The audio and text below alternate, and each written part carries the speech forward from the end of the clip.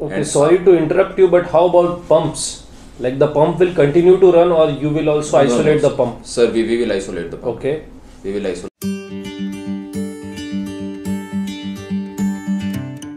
Good morning, sir. Good morning. So your name is Jaivardhan Singh, right? Yes, sir. So tell me something about yourself. Sir, uh, I am from Falna, Rajasthan. It is a small village near Jodhpur uh, in Rajasthan. I have done my primary education from Falna and from in CBSE and I have done my 12th standard from RBSE board. After that, I have opted for BTech Marine Engineering and I have I am currently doing BTech Marine Engineering from Manet, Pune.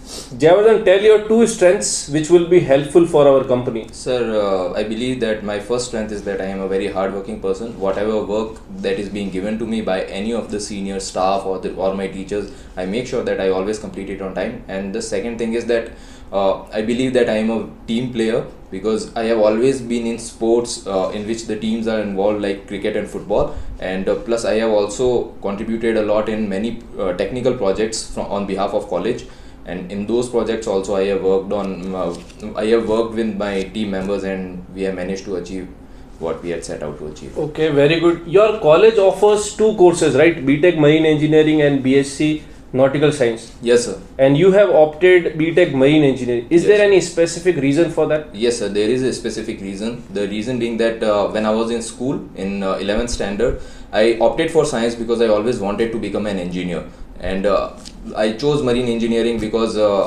i was always inclined toward this field and in nautical science i did not have much interest and i always thought that i cannot uh, give a lot to that particular subject as compared to marine engineering Okay, Jaivardhan, let's move uh, move towards uh, technical questions. yes sir So, can you tell me what are the different operations which you can carry out on a lathe machine?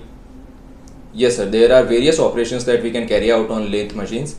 First one is knurling, second is turning, third is facing, fourth is drilling, fifth is boring, and chamfering. Sir, these are the various operations that we can carry out on lathe machine. Can you tell me at what speed you should uh, carry out the facing operation? Like it should be a high speed or low speed. Do you have any idea about this? Sir, sorry, sir, I am not able to recall it right okay, now. okay, no problem. So, Jaivardhan, can you tell me the construction portion of freshwater generator, the plate type one? Yes, sir. In a plate type freshwater generator, first of all, we have an outer shell, and uh, inside there are two parts. One is uh, evaporator, and second is condenser. Both are having plates, and uh, in uh, evaporator, uh, in the plates we have four connections. First is for uh, jacket water, and uh, second is for first is for inlet and outlet of jacket water, and second is for inlet and outlet of sea water. And we also have eductor, uh, which is uh, sometimes the same eductor in uh, plate type freshwater generator is used for the removal of brine and also air from the system. We also have salinometer, we have a distillate pump. So these are the various components of a plate type sh- freshwater generator. Okay, okay. So, can you tell me the pressure testing of uh, shell and tube type of heat exchanger? Uh, let us assume that on your ship there is one cooler for stern tube lube oil.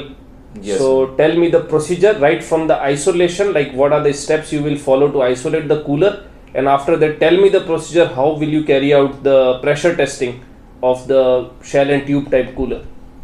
Sir, first of all, to isolate the cooler, we will uh, switch over to we will switch over the system to the standby cooler. And let us assume we don't have any standby cooler. Okay, sir. Then uh, if it is a main engine lube oil cooler, then uh, in No, I'm I'm putting you in a uh, situation where you have the stern tube lube oil cooler and your ship is at port. Okay, okay, sir.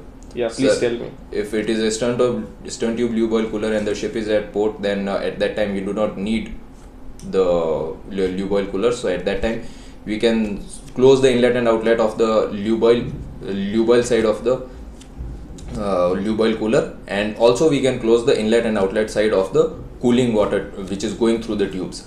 And after after doing this, we drain the cooling water from the tubes. Okay, and sorry to interrupt you, but how about pumps? Like the pump will continue to run, or you will also No, no, isolate the pump. Sir, we, we will isolate the pump. Okay. We will isolate So now please continue. and after that we will uh, there is a drain connection provided for the drainage of the cooling water from the tubes. We will drain the uh, we will drain the cooling water. And after that we will open the one open one end cover. And uh, after opening the end cover we, there is one uh, air connection provided on top of the lube oil cooler. We will supply uh, we will supply air at a pressure of 2.2 2.5 to 3 bar. Okay. and it will pressurize the inside of the inside of the lube oil cooler. And because of this pressure the lube oil will go inside the tubes. And if any lube oil uh, if there is a leakage in any of the tubes for it, it will not go inside the tubes but because of the pressure if there is any leakage inside the tube then lube oil will go inside the tube through that leakage and it will come out from the outlet of the tube Okay. From there you can find out that Yes, which sir. tube is leaking. yes sir Yeah, Jaivardhan, thank you for this. Okay. thank you so much for your time sir okay.